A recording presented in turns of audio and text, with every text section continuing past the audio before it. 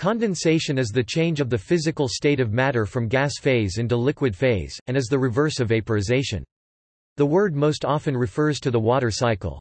It can also be defined as the change in the state of water vapor to liquid water when in contact with a liquid or solid surface or cloud condensation nuclei within the atmosphere. When the transition happens from the gaseous phase into the solid phase directly, the change is called deposition.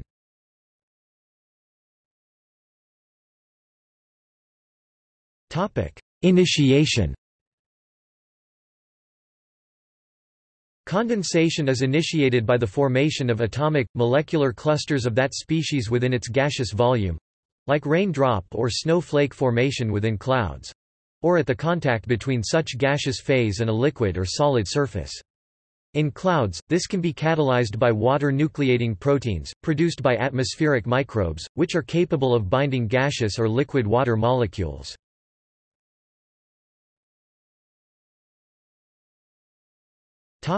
Reversibility scenarios A few distinct reversibility scenarios emerge here with respect to the nature of the surface. Absorption into the surface of a liquid either of the same substance or one of its solvents is reversible as evaporation.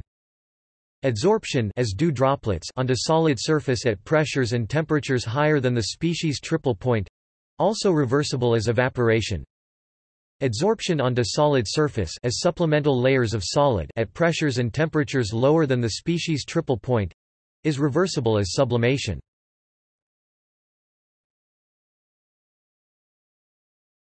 Topic: Most common scenarios.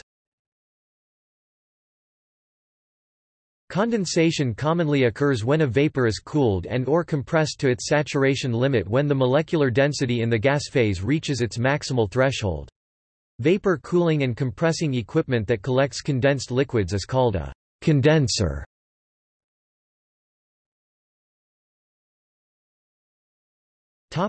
How condensation is measured Psychrometry measures the rates of condensation through evaporation into the air moisture at various atmospheric pressures and temperatures. Water is the product of its vapor condensation, Condensation is the process of such phase conversion.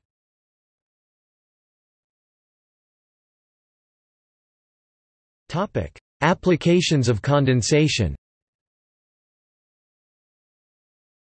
Condensation is a crucial component of distillation, an important laboratory and industrial chemistry application. Because condensation is a naturally occurring phenomenon, it can often be used to generate water in large quantities for human use.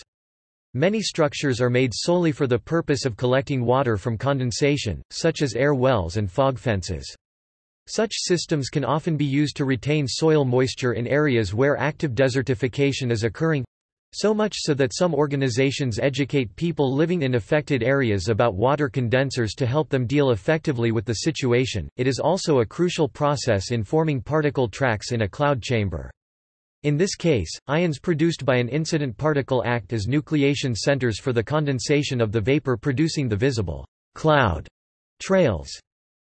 Commercial applications of condensation, by consumers as well as industry, include power generation, water desalination, thermal management, refrigeration, and air conditioning.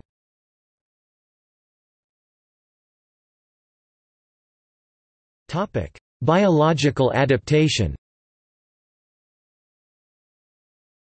Numerous living beings use water made accessible by condensation.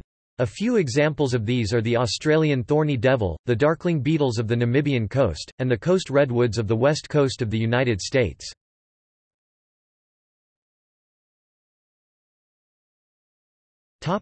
Condensation in building construction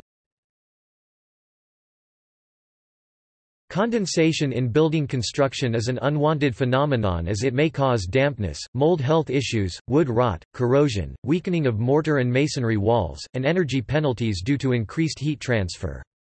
To alleviate these issues, the indoor air humidity needs to be lowered, or air ventilation in the building needs to be improved. This can be done in a number of ways, for example opening windows, turning on extractor fans, using dehumidifiers, drying clothes outside and covering pots and pans whilst cooking. Air conditioning or ventilation systems can be installed that help remove moisture from the air, and move air throughout a building. The amount of water vapor that can be stored in the air can be increased simply by increasing the temperature. However, this can be a double-edged sword as most condensation in the home occurs when warm, moisture-heavy air comes into contact with a cool surface. As the air is cooled, it can no longer hold as much water vapor. This leads to deposition of water on the cool surface. This is very apparent when central heating is used in combination with single glazed windows in winter. Interstructure condensation may be caused by thermal bridges, insufficient or lacking insulation, damp proofing or insulated glazing.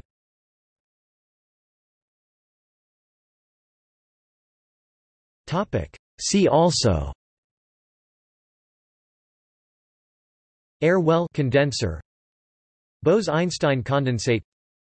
Cloud physics. Condenser heat transfer.